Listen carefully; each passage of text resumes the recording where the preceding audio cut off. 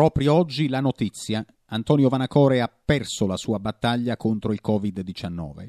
L'allenatore in seconda della Cavese aveva contratto il virus intorno al 17 febbraio scorso. Dopo di lui è toccato ad altri tra calciatori, dirigenti e staff tecnico, ma Vanacore è stato colpito da una forma evidentemente più aggressiva che lo ha portato al ricovero in ospedale, fino al decesso, comunicato questo pomeriggio dalla società metelliana.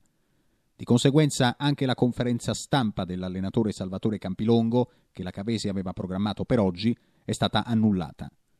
Già numerosi i messaggi di condoglianze su social nel momento in cui è uscita la notizia, prima ancora che la società metelliana la comunicasse.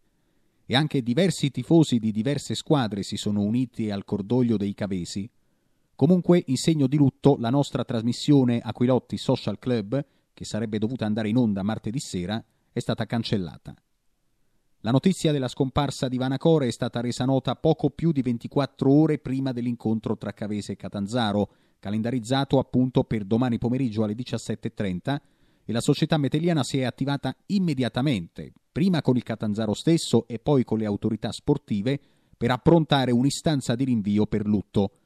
La società calabrese si è detta subito disponibile ad andare incontro alla Cavese, quindi a giocare in un'altra data che sarà sicuramente il 24 marzo con inizio alle ore 15.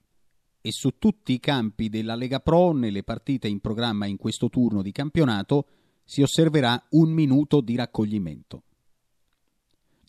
Antonio Vanacore, classe 75, nato il 20 di luglio a Pozzuoli, era stato anche calciatore, giocava terzino sinistro, ha riportato 22 presenze in Serie B proprio col Catanzaro, e dopo il calcio giocato ha seguito Campilongo alla Cavese come collaboratore. Il decesso di Antonio Vanacore peraltro è il primo di un componente di un gruppo squadra di una società professionistica causato dal nuovo coronavirus nel calcio italiano. C'erano state anche altre morti nel nostro calcio per questa ragione, ma avevano riguardato principalmente altre cariche. E questa disavventura avviene in un'annata davvero disgraziata per la Cavese. Fin dal primo giorno di raduno c'era stato un contagio, poi il minifocolaio d'autunno e successivamente i contagi delle scorse settimane, oltre all'ultimo posto nel girone C, che adesso passa comunque in secondo piano.